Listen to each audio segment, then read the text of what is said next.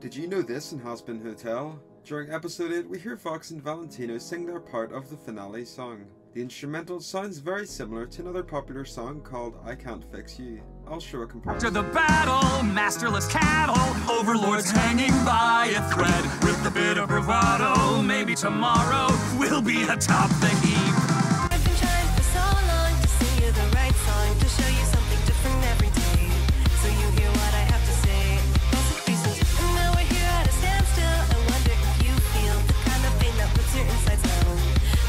I know all about. both songs were made by Sam Haft, who you'll probably recognise as half of The Living Tombstone. This explains why the song is so catchy and familiar at the same time.